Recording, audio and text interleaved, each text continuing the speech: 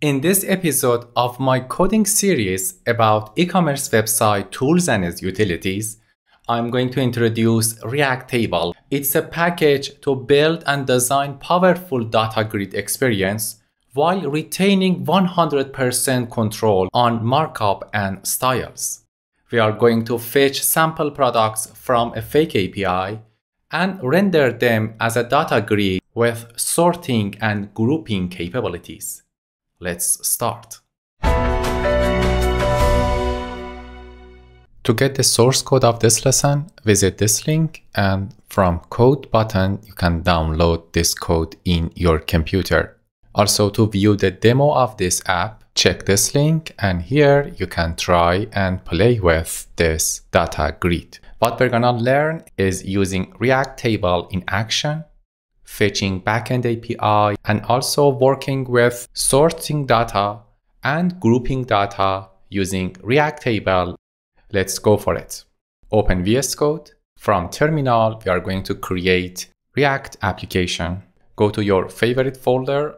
I'm gonna go to desktop folder and run npx create dash react dash app enter the name of app, whatever you like. I'm going to enter React table app and press enter. Wait a while to install all packages. After creating React app, cd React table app, and then enter code, put an space and dot to open this project in a new instance of VS Code. Click on trust. This time we have our application folder in the left column. The next step is gonna be installing React table from terminal menu, new terminal, npm install React table. Also, we need Axios, put on a space and enter Axios 2 and press enter. After installing these two packages, it's time to go to the app.js and here get rid of all content and create a div, set the class name to table container, open index.css and at the very end, enter this class for table container. We are going to make this div center aligned vertically and horizontally. Save this and inside the app.js, we're gonna use this conditional rendering. If I'm loading data, show loading products. Otherwise, render product table. We need to create this component later.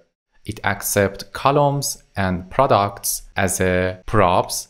And inside that, we are going to use render React table package. Save it, get rid of logo here, and also app.js here. First of all, we need to define products state. Define it using state hook, import use state by pressing control space and select use state. It's gonna import it like this. And the next state is loading. By default is true because we're gonna show loading box at the very beginning of rendering components. The next step is gonna be defining use effect. We are going to send an AJAX request. That's why we need to define use effect and use empty array as a dependency array. So it's gonna run only one time after rendering this component. Inside that, define fetch products function. Here is the code of fetch products. It's an async function. We set loading to true and inside try catch, we send an AJAX request to this API. I just created six products in this API as a JSON and you can use it in your code too.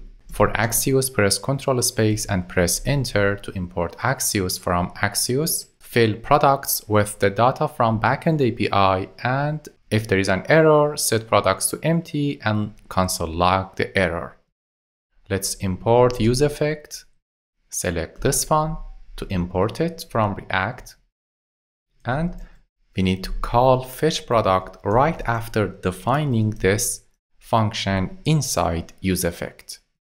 Save it, and it's time to define columns right before the return function. Define columns using useMemo. The first parameter is an arrow function that returns an empty array and second parameter is empty array. This one is dependency list and this one is the value that we return. Let's import use memo and inside this array we're going to define columns for the table. The first column is category. So it's an object, has header and accessor.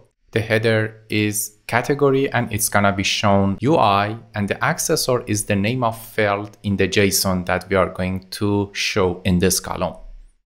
Do the same for ID and name like this. And then for price, we need to define aggregate. For price, we set header to price, accessor to price, and aggregate is average. So we use the average here in the aggregated function, and that's the text that is going to be shown in the price column when we group data. For count in stock, we're gonna use sum as an aggregate. So it's gonna show sum of products in each category. The next one is brand. And the next one is rating. For rating, I'm using average too. And the last column is description. So here I just define the columns for the table. The next step is gonna be defining product table. So here inside src, right click new file and set file name to producttable.js. Type RFC and press tab to create React functional component. This component accepts columns and data as a property. So define it and then here it's time to use useTable hook right after this function define useTable and import useTable from React table. The first parameter for useTable is an object that contains columns and data from props. Other parameters is the features of this table. So we're gonna enable grouping data imported by control space, enable sorting data, and enable expanding data in the rows. Also, we need to get following objects and functions from useTable to render table in the UI. In the return part, the first thing that I'm going to return is the table itself. Get rid of div and render table itself. For the table, we need to deconstruct table properties here for the table and then define t-head save it to format your code, and inside t-head, it's time to define header groups. It's coming from here. So render it like this. Header groups is an array, so we need to map it to header group, and inside that, we need to define table row. Here is the table row, and set header groups properties for the table row here. Inside table row, define header groups.headers.map function to render all columns inside the header of this table. So what I'm gonna do inside each column is to use table header tag like this. Table header, put all attributes for table header from this function and inside table header, we need to check column.group by. Let's close it here and save it. Inside table header, render this conditional rendering. If column dot can group by and the ID is category, then show plus icon if item is grouped, otherwise show minus icon, otherwise render null for other columns. The next step is gonna be rendering the column name right here using column.render header and the last one is an span to render sort direction. If it's sorted, show the direction, otherwise show nothing. That's it about the header. Let's go for the body part. Right after the T head, render T body. And inside that, we need to render rows. It's an array, so we use map function like this.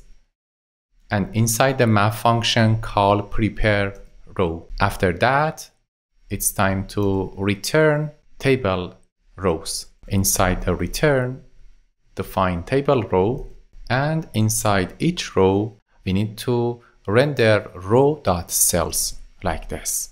For each cell, define table data like this. And inside that, we need to have a check for table is grouped. So the code is gonna be like this. If the cell is grouped, show it as a grouped. Otherwise, if it's aggregated, show the aggregated value. If it's repeated data, show placeholder. Otherwise, show the real value. Save it to format your code and then go to app.js and import product table. It's gonna be imported from product table in the same folder. Save it and open terminal npm start. After starting the project, it's gonna open a new window. And for line 32, don't forget to use return here and put td next to it like this and save it.